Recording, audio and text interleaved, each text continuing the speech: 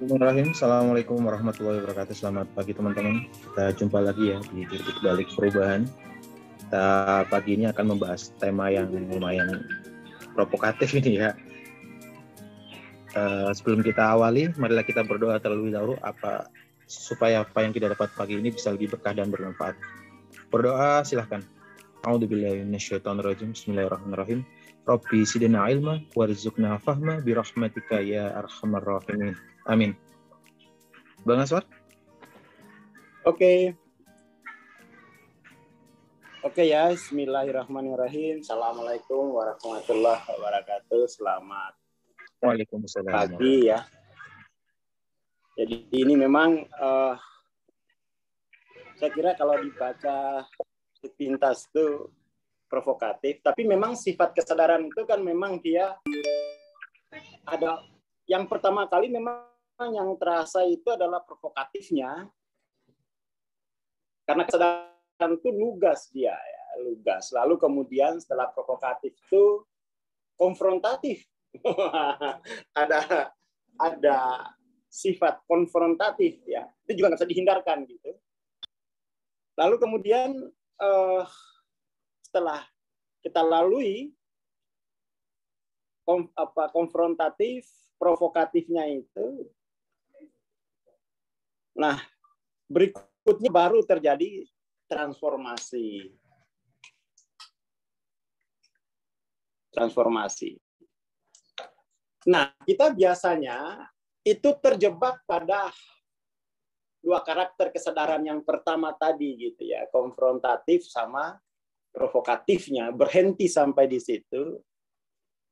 Lalu uh, apa namanya kita akhirnya kehilangan sense untuk melihat peluang transformasi gitu ya. Nah hal semacam itu sebenarnya bisa kita hindari sejak awal. Jadi hal sejak awal hal apa terjebak pada konfrontasi dan provokatif kita bisa keluar dari situ sejak awal jika kita punya kesadaran epistemologis gitu. Jika kita punya kesadaran epistemologis. Makanya di sini kesadaran epistemologisnya itu di dalam kurungkan ya. Tidak netral fakta apa? Fakta tidak netral itu dari perspektif tinjauan prinsip kewargaan. Jadi hilang sebenarnya prinsip apa namanya itu uh, provokatif konfrontatifnya jika kita baca dalam kurung yang kecil ini gitu ya. Karena ini artinya sebuah posisi epistemologis gitu. Nah, sebelum saya masuk menjelaskan uh, fakta itu tidak netral, artinya dia punya nilai pada dirinya sendiri. Saya mencoba uh, apa ya, mulai dari apa itu epistemologi gitu ya, apa itu epistemologi. Jadi gini, uh, kesadaran epistemologi ini saya kira ini tidak hidup di masyarakat kita gitu ya. Jadi di masyarakat saya kira cenderung dia level kesadaran itu kan paling tinggi itu level kesadaran epistemik kalau dalam ilmu. Sebelum epistemik itu ada awam ya, itu awam itu paling bawah level awam, ini paling besar kuenya. Kemudian level operator. Operator. Lalu ada level observer. Lalu ada level epistemolog gitu. Epistemolog. Ini anu ya terkait dengan kesadaran akan ilmu. Paling tinggi itu level kesadaran epistemolog. Di dunia ini sangat sedikit sangat sedikit epistemolog. paling banyak itu orang awam, paling banyak itu operator, trainer itu bisa operator tuh. Trainer itu bisa level operator dia. Observer itu peneliti. Epistemolog itu yang mengaudit. Yang mengaudit uh, logic system gitu ya. Terhadap sebuah kepercayaan terhadap sebuah budaya gitu ya. Itu epistemolog. Nah kalau kita orang Islam itu ayat pertama surat al-baqarah itu kan itu zalikal kitabu itu kan itu kesadaran epistemolog itu seperti itu gitu jadi zalikal kitabul raibah ada keraguan. Itu adalah yang ngomong begitu berarti maha epistemolog gitu. Aku sudah audit seluruh sejarah manusia dan ini adalah dariku kan gitu. Jadi Tuhan hadir sebagai seorang eh sebagai seorang eh sebagai maha epistemolog gitu. Makanya Quran itu lugas, provokatif gitu. Karena itu itu uh, itu dari sang epistemolog gitu kan ya. Sang epistemolog.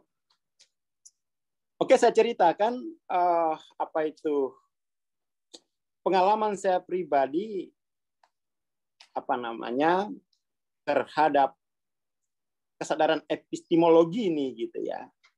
Jadi epistemolog itu selalu menantang seluruh kepercayaan yang sudah terlanjur diyakini gitu kan. Jadi seorang epistemolog itu dia selalu mempersoalkan, mengaudit sistem di balik apa yang sudah terlanjur dipercayai oleh manusia gitu. Dia akan mengaudit itu gitu ya. Makanya surat pertama itu eh, Al-Baqarah itu ayat pertama itu zalikal itu itu sang epistemolog yang ngomong itu. Tentu saja orang akan takut kalau sang epistemolog itu hadir, seluruh kepercayaan akan runtuh itu akan runtuh. Oke. Jadi berpikir secara epistemologis itu adalah berpikir untuk melampaui seluruh sistem-sistem kepercayaan yang ada di dalam kebudayaan manusia. Itu kata kuncinya ya. Jadi kuliah kita ini, saya anggap saja ini kuliah, bertujuan untuk menggeser kesadaran masyarakat dari kesadaran kepercayaan menuju kesadaran epistemik. Kesadaran epistemik. Quran selalu mendorong kita begitu. Kamu jadi seorang epistemolog gitu. Jangan seorang penganut kepercayaan iman itu kan mestinya begitu seorang iman itu dari seorang epistemolog gitu kan dibangun di atas epistemologis ini paling tinggi ini ya kesadaran epistemik ini nah saya sendiri ter apa ya takjub dengan kesadaran epistemik itu waktu SMA gitu jadi waktu SMA kita ada pelajaran komputer waktu itu. Ada pelajaran komputer. Saya geser dikit ya. Ada pelajaran komputer yang nggak terlalu banyak siswanya karena itu adalah kursus ekstrakurikuler kita bayar gitu ya. Saya jadi seminggu itu empat kali, Senin sampai Kamis. Jadi pulang jam 2 sampai jam 5. Jadi saya enggak, jadi SMA itu agak berat gitu belajarnya. Pulang kelas jam 2, saya enggak pulang. Langsung ke laboratorium, saya ikut kelas komputer sampai jam 5. Gitu. Nah, di sana ada cewek cantik. gitu kan. Di sana ada cewek cantik gitu kan. Dan waktu itu saya kira orang itu megang keyboard itu masih gemetar gitu kan ya. Masih gemetar. Masih gemetar. Jadi ada ini gitu loh. Ada teman saya gitu dia dat selalu datang duluan gitu, yang booting komputer gitu kan.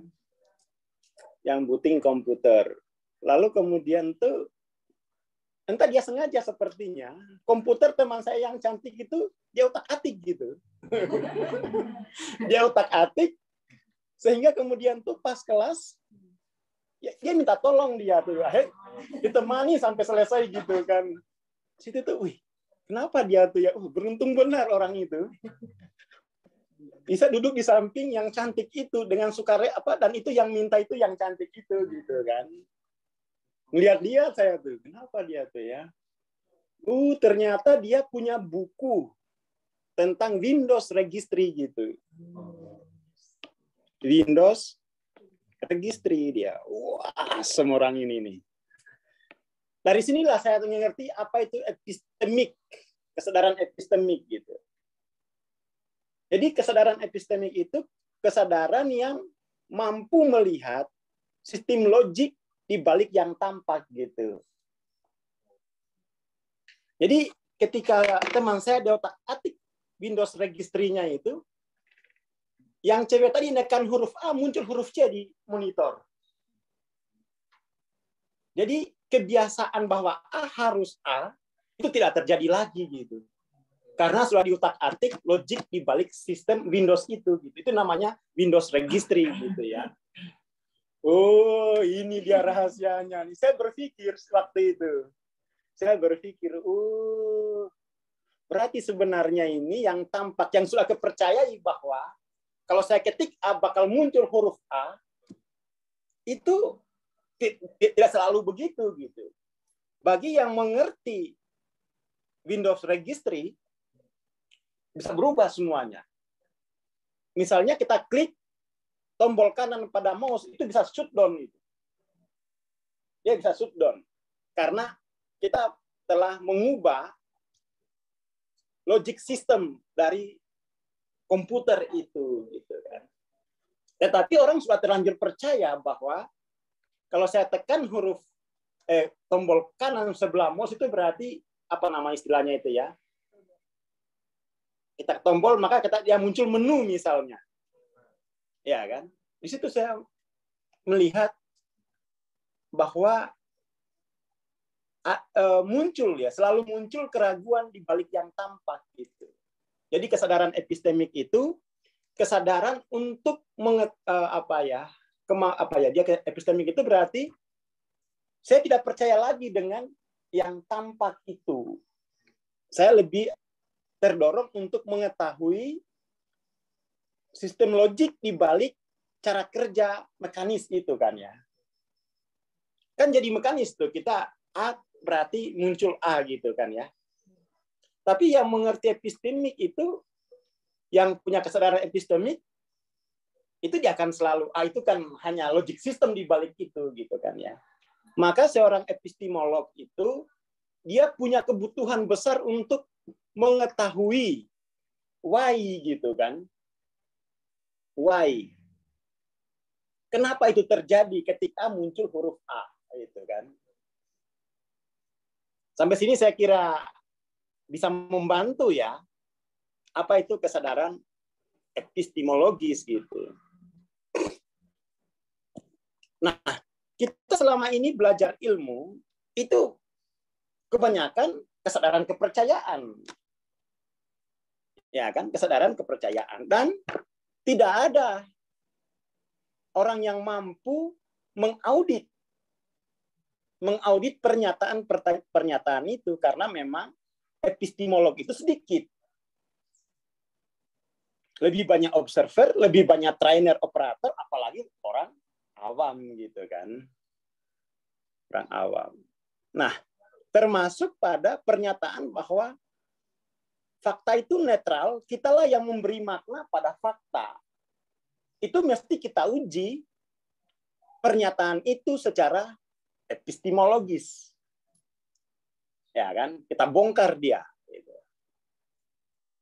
Nah, ini pembongkaran ini jangan dianggap ini pertarungan gitu kan ya memang epistemolog itu selalu begitu gitu. Dia hadir untuk memperjelas, mencahayai gitu kan ya. Jadi kuliah kita pagi ini biar tidak apa itu menguatkan sifat konfrontatif, sifat provokatifnya, maka ini mesti dipahami dari posisi semangat pencahayaan, bukan semangat pertarungan kan gitu ya. Jadi seorang epistemolog itu dia selalu semangat iluminasi gitu. Bukan semangat pertarungan gitu ya. Jadi Quran itu juga begitu. Dia hadir untuk memberi semangat iluminasi pada manusia yang mungkin sudah terjebak pada kepercayaan oleh budaya-budaya gitu kan.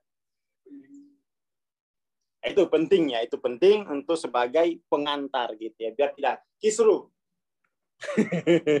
biar tidak kisru karena memang secara mainstream itu ya di grup-grup saya lihat perbincangan di apa namanya di fakta itu netral.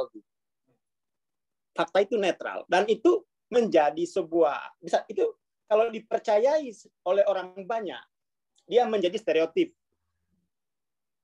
Dia menjadi sebuah dogma. Dan kita tidak mempertanyakan sebenarnya itu seperti apa sih logik sistemnya sehingga pernyataan itu menjadi benar gitu. Ya kan? Jadi fakta itu netral apa enggak gitu kan. Yang beredar kan begini gitu ya. Yang beredar itu bahwa fakta itu netral sampai kita memberikan nilai itu positif atau negatif akan fakta itu gitu. Kata netral di situ bagi saya itu nggak jelas maknanya apa. Apakah fakta itu tidak ada nilainya ya ada karena fakta itu netral. Fakta itu jelas dia punya nilai. Tidak ada sesuatu di alam raya ini yang tidak ada nilai. Kan gitu. Kalau ada sesuatu yang di alam semesta ini yang tidak punya nilai, yang punya posisi netral, maka dia berarti sebuah kesia-siaan misalnya. Jadi di sini kita coba kita coba terangkan fakta itu sebagai hal, subjek juga sebagai hal gitu ya. Jadi kita coba dudukan dulu gitu ya. Fakta itu adalah hal sebagai hal, subjek juga sebagai hal gitu kan ya. Ini dua hal yang berbeda gitu kan.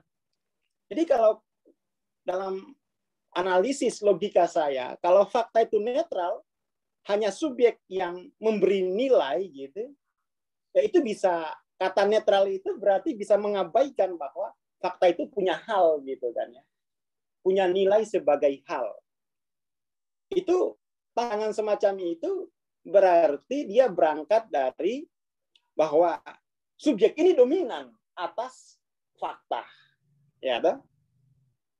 Dominasi subjek atas fakta. Itu kan kesimpulannya berarti ya. Jadi logik logik sistem pernyataan pertama bahwa fakta itu netral, subjeklah yang memberi nilai. Tapi di sini nih perlu diperjelas lagi. Subjek itu memberi nilai pada apa? Pada fakta atau pada subjek itu sendiri gitu. Ya, jadi coba kita urai ya, kita jadi kita urai gitu. Nanti kita bisa diskusikan di grup. Misalnya fakta itu netral, subjeklah yang subjeklah yang memberi nilai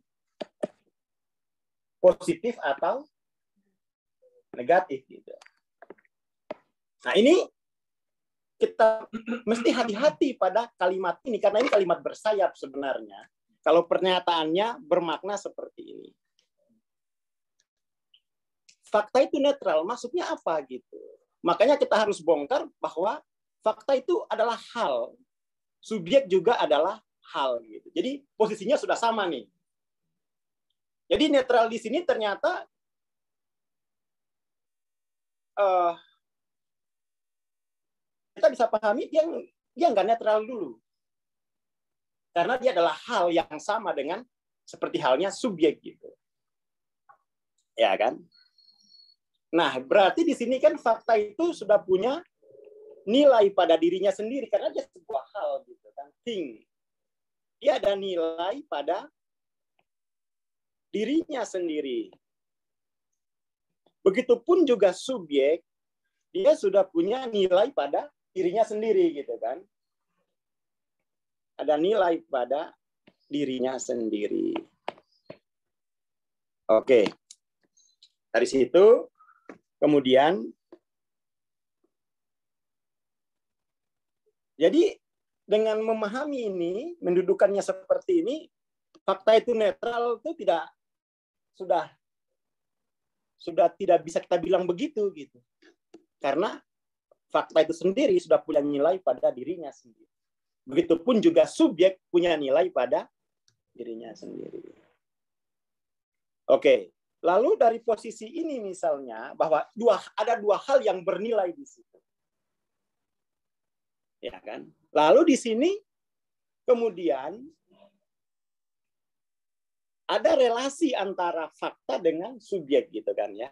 Ada relasi kita kita kita coba lihat relasi antara fakta dan subjek gitu. Pada fakta ada subjek sama-sama dia berelasi gitu kan. Berelasi karena posisinya sama kan. Posisinya sama. Artinya di sini bahwa fakta itu bisa mendikte subjek. Ya, kan? Fakta bisa mendikte subjek. Itu namanya subjek mengetahui dirinya melalui fakta. Bisa seperti itu posisinya. Tidak selalu subjek yang memberi nilai pada fakta gitu. Sehingga fakta itu kita bisa bilang dia netral. Ada posisi resiprokal di situ. Ada relasi antara fakta dan subjek itu bisa resiprokal. Bahwa ya oke okay, fakta bisa memberi nilai pada subjek memberi nilai pada subjek. Nah, pada posisi inilah saya tidak setuju bahwa fakta itu netral. Gitu. Nah, dia bisa memberi nilai pada subjek. Tetapi juga subjek bisa memberi nilai pada fakta. Nah, memberi nilai pada Kan adil kalau begini. Adil. Dan itu contohnya ada. Misalnya orang pergi ke rumah sakit. CT scan, pemeriksaan, faktanya faktanya terbukti bahwa kamu kena cancer stadium 5 gitu ya. Umurmu tinggal dua tahun lagi.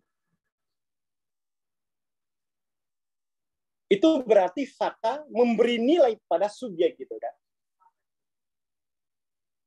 Oke? Jadi ada pengaruh fakta terhadap subjek. Kemudian sekarang gantian gitu kan. Gantian. Bagaimana subjek menanggapi nilai yang disajikan oleh fakta tadi?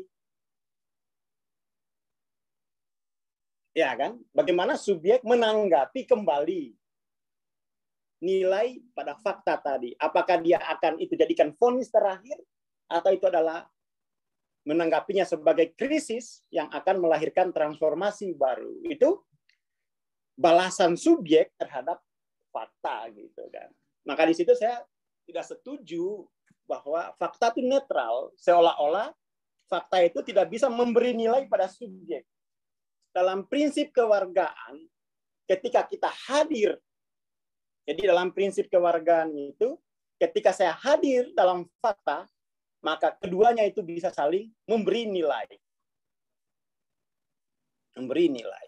Jadi kita tidak bisa mengabaikan fakta itu netral gitu.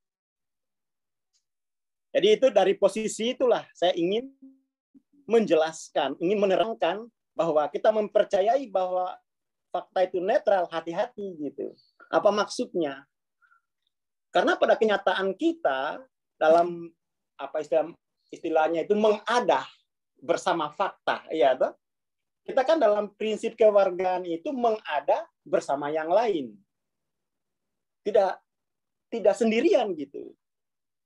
Ya kan mengada bersama yang lain. Saya khawatirnya saya khawatirnya itu orang kemudian menyebut fakta itu netral, itu jangan-jangan tuh keras kepala sebenarnya mengabaikan kemengadaan yang lain gitu kan.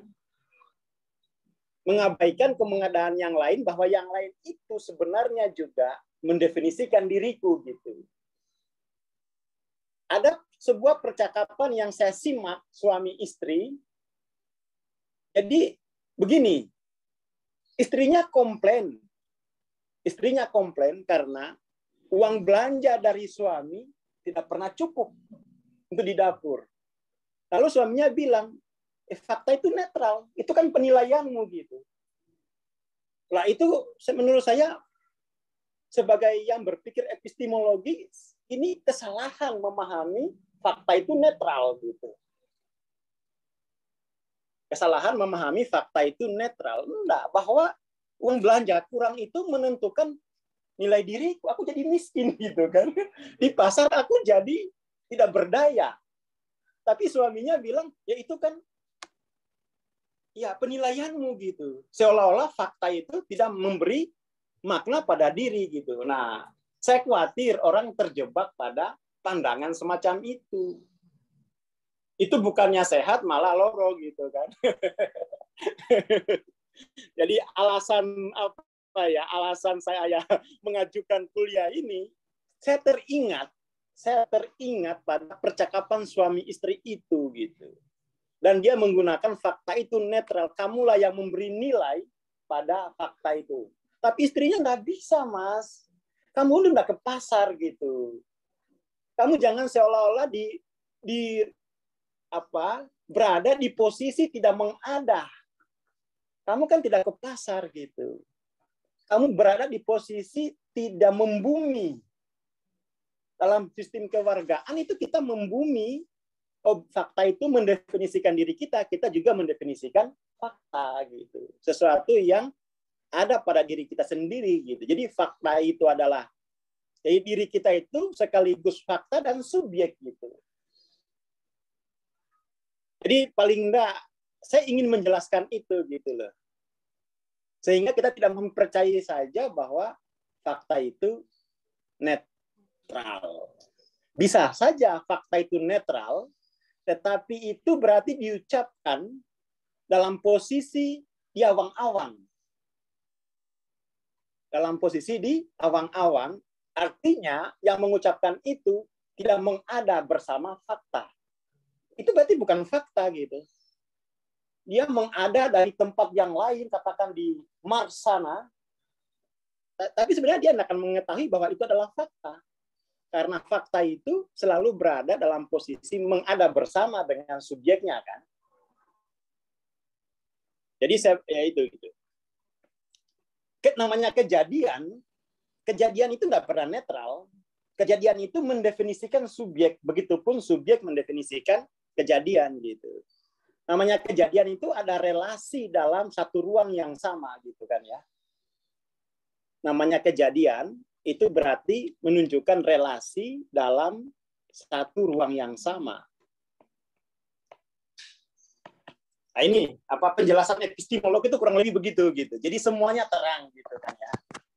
Jadi bukan untuk menghujat yang lain, mengalahkan enggak. Kita terangkan saja. Kita ambil posisi seorang epistemolog gitu ya. Nah, eh, ya ini saya kira yang dibutuhkan oleh masyarakat itu kita perlu termasuk dalam pengembangan diri. Mari kita lampaui kesadaran kepercayaan menuju kesadaran epistemik gitu ya.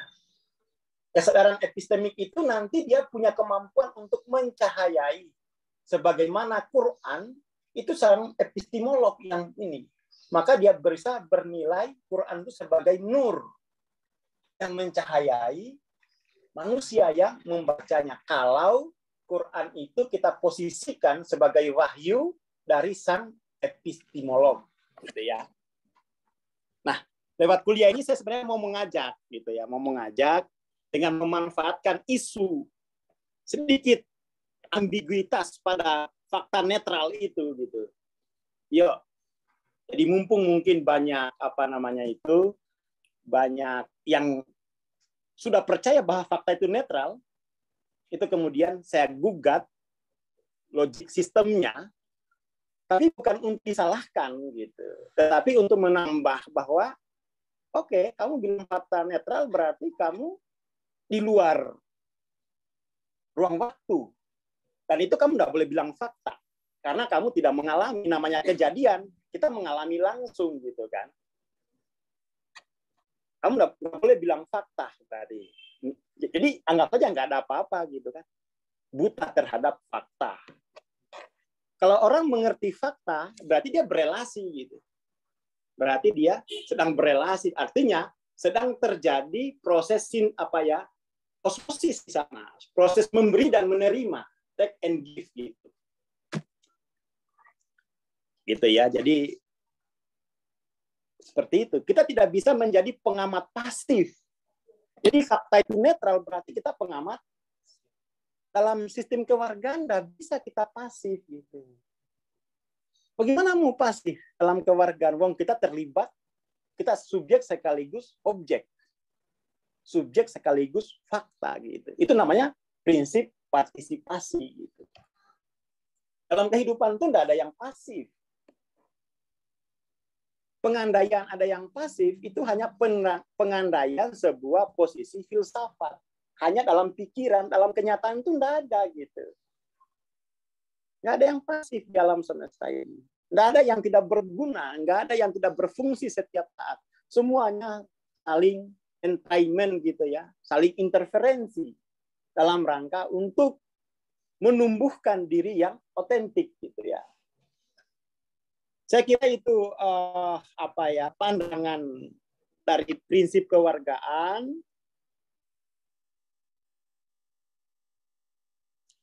Uh, prinsipnya gini Pak Kusnadi, kita mesti fakta itu bernilai deh itu dulu. Jadi fakta itu nggak bisa dinetralisir gitu. Bagaimana dia bernilai pada dirinya sendiri kok. Yang ada itu bukan netralisir fakta, tetapi kita gantian gitu ya. Kita kita memberi nilai ganti. Tapi itu untuk diri kita sendiri, tidak untuk pada fakta. Ya. Jadi kita memberi nilai diri kita itu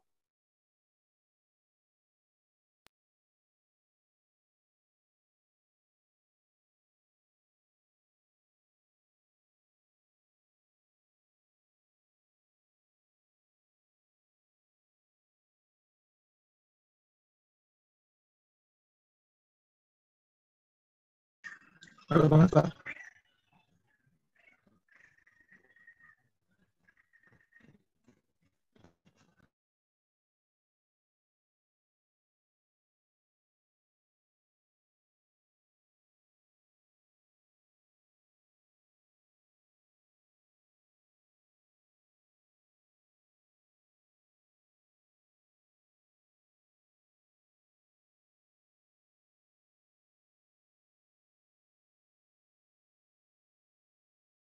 Berdasar kendala teknis itu sebentar ya teman-teman di wifi kantor kelihatannya sebentar persahabatnya sebentar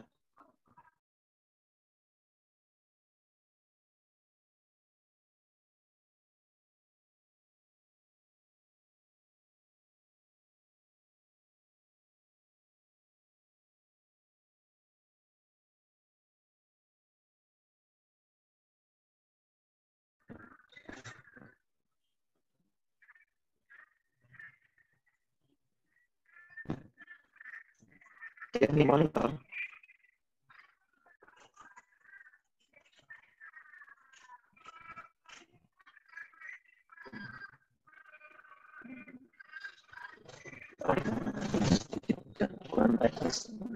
jaringan di kantor sedang masalah ini. Bersabar ya teman-teman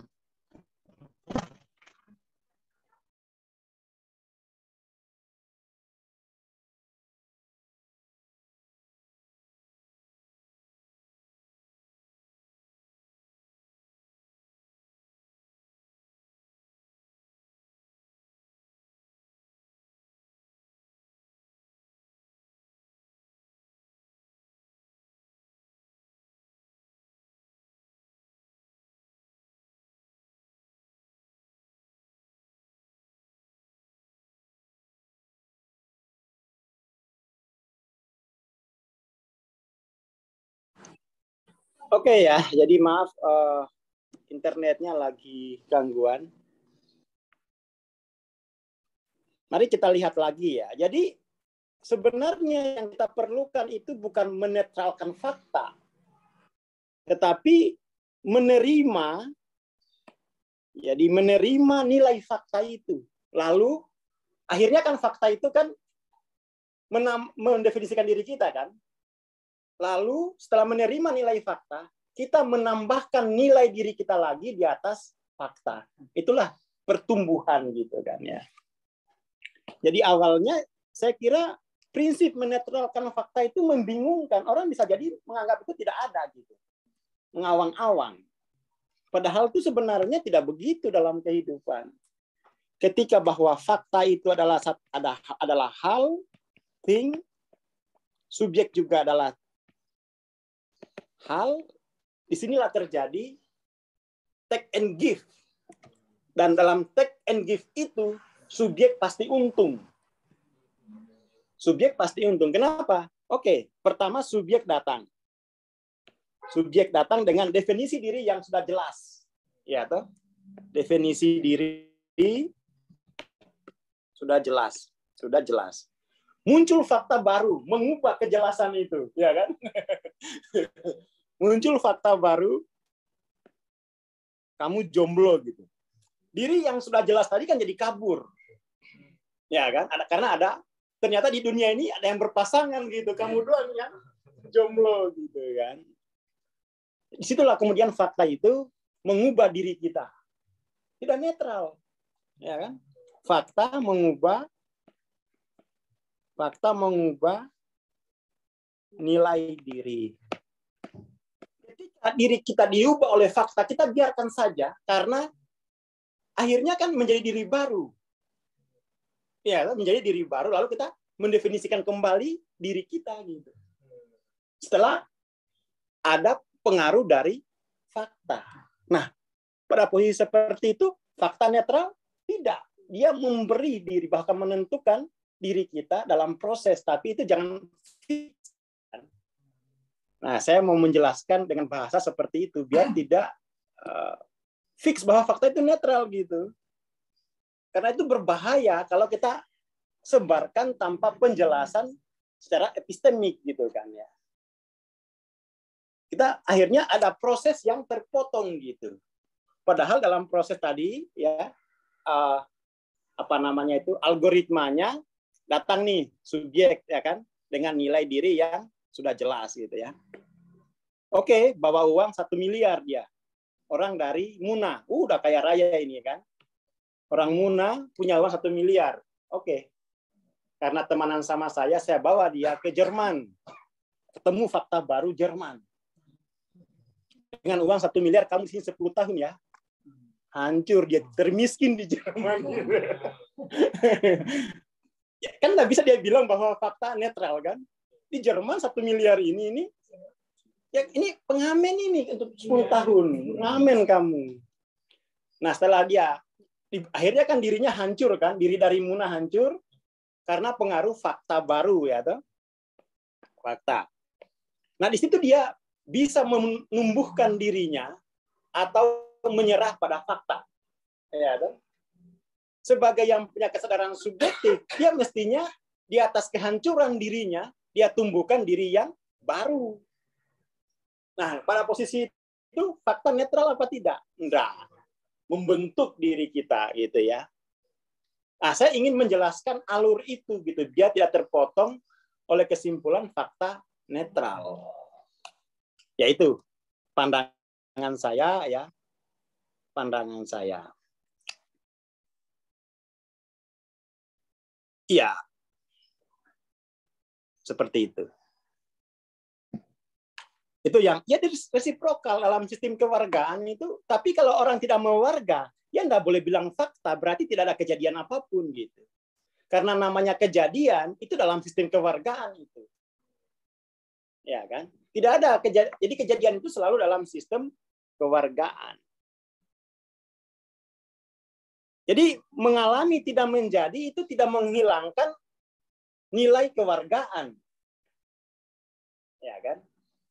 Jangan sampai kemudian tuh nilai kewargaan itu dihilangkan. Ah, itu masalah. Itu masalah.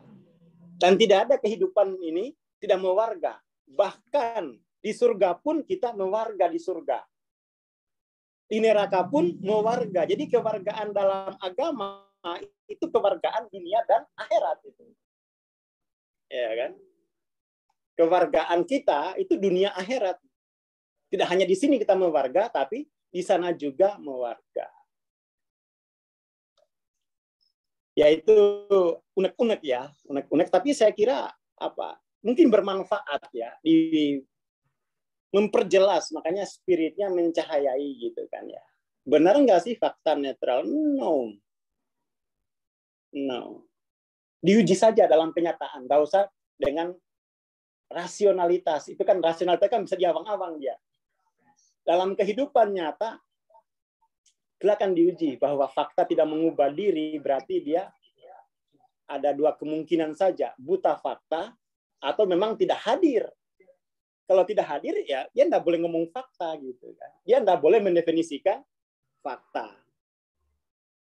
Itu kemarin kemungkinan-kemungkinan sistem logikanya gitu kan ya silakan mungkin kalau ada teman-teman yang ingin menambahkan sistem logika lain biar kita kaya gitu ya. Ya, fakta dilihat kembali sebagai bentuk konfirmasi subjek dalam proses untuk progresif. Jadi, ya ini saya kira tepat ya. Jangan mengabaikan fakta karena itu menumbuhkan kita. Gitu ya. Menumbuhkan, menumbuhkan, memperluas kewargaan kita gitu. Memperluas kewargaan.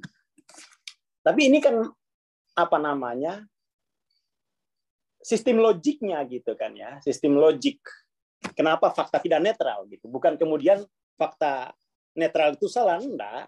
Saya hanya menjelaskan kenapa why fakta itu tidak netral. Dia bisa netral tapi berarti itu orangnya buta fakta atau tidak hadir. Tapi kalau tidak hadir dia tidak boleh bilang fakta. Dia tidak boleh mendefinisikan fakta. Karena fakta itu netral itu adalah sebuah definisi gitu. Fakta bisa mengintimidasi subjek pada awalnya. Karena dia membongkar diri kita kan? Tetapi subjek memberikan memberikan kekuatannya pada dirinya gitu untuk memperbaharui diri gitu kan Nah masalah diintimidasi sama subjek tetapi di sisi deh nggak masalah fakta itu mengintimidasi subjek karena pada akhirnya subjek itu punya kekuatan tak terbatas. Gitu kan? Karena kan yang punya kekuatan tak terbatas subjek. Gitu kan? Jadi nggak apa-apa kalau misalnya pacarnya itu minta beli mobil termahal. Itu fakta kan? itu fakta itu. Itu dalam rangka untuk mengaktualkan potensi tak terbatas dari kalau pacarnya berpikir secara epistemik. Tapi kalau pacarnya berpikir secara kesadaran kepercayaan, cewek matre loh. Ya kan kayak gitu ya. Tidak mungkin ada fakta yang netral dalam sebuah posisi relasi. Tidak mungkin. Tidak mungkin. Contoh misalnya hujan turun. Kita bilang ya kalau hujannya turun sebulan gimana? Masih masih netral kayak itu. Kalau hujannya turun 40 hari tidak berhenti. Apa nggak gelisah tuh? Rumah kita udah apa nggak mengubah diri kita jadi pengungsi itu? Ya kan? Apa nggak mengubah kita jadi pengungsi gitu kan ya jadi fakta tidak mungkin netral kalau dalam posisi relasi gitu. Namanya kewargaan itu relasi gitu ya. Fakta tidak netral, tidak bisa netral. Fakta netral hanya dalam asumsi seorang pengamat pasif yang diawang-awang gitu. ya kan diawang-awang. Dia tidak hadir. Loh ngapain kamu bilang fakta? Toh kamu tidak hadir. Yang boleh bilang fakta itu yang hadir. Ya kan? Ya, seperti itu. Tapi saya melihatnya bahwa fakta itu tidak netral karena itu punya punya nilai untuk menumbuhkan diri kita kan ya. Seperti itu. Jadi ya kurang lebih begitulah ya paparan secara epistemiknya. Ya pada akhirnya kembali lagi kan. Kembali lagi ke masing-masing masih mau pakai pernyataan yang menguntungkan bagi kita itu yang mana gitu kan pernyataan yang menguntungkan itu yang mana gitu kan kira-kira. Paling tidak kita bisa selama ini kan mungkin kita menerima netral itu apa sih nilainya? Saya juga tidak. Karena selama ini kan ngambang juga arti netral itu. Gitu. Secara common sense netral itu tidak memberi dampak kan? Padahal membentuk loh itu. Bukan tidak memberi dampak, tapi membentuk. Membentuk gitu kan? Hasil bentukan fakta itu kemudian kita respon lagi dengan hasil bentukan yang otentik dari subjek itu sendiri kan? Itulah kehidupan kan selalu begitu gitu. Kita dibentuk dan tumbuh baru dibentuk dan tumbuh baru nah, itu kan namanya progresif gitu ya saya kira itu pagi ini ya jadi kata netral itu kita perlu gugat kita perlu gugat mungkin kita perlu perbaiki lah ya. Paling tidak biar memberi bahwa fakta itu adalah satu hal. Kalau satu hal dia punya nilai gitu kan ya. Saya kira itu pagi ini. Terima kasih. Saya mengharapkan ada TikTok secara epistemik lagi di grup-grup kita kan ya. TikTok itu maksudnya ada yang menambahkan epistemik baru gitu kan. Ada TikTok tuh interaksi lanjutan gitu kan. Interaksi lanjutan biar tidak kita kembangkan kesadaran kepercayaan gitu. Kita mesti tingkatkan ke kesadaran epistemik itu tumbuh bareng-bareng gitu kan. Tumbuh bareng-bareng. Saya kira itu. Terima kasih. Assalamualaikum warahmatullahi wabarakatuh. Hidup fakta gitu ya. Mari kita hormati fakta. Gitu. Terima kasih, Oh, mengingat besok kita ada kelas menuju dimensi 5 ya. Teman-teman yang pengen mengikuti bisa segera daftar. Dan juga kalau yang sudah ikut mentoring TLOC Jumat depan kita ada mentoring lagi yang alumni bisa riset ya gratis. Terima kasih. Assalamualaikum warahmatullahi wabarakatuh. Sampai bertemu besok.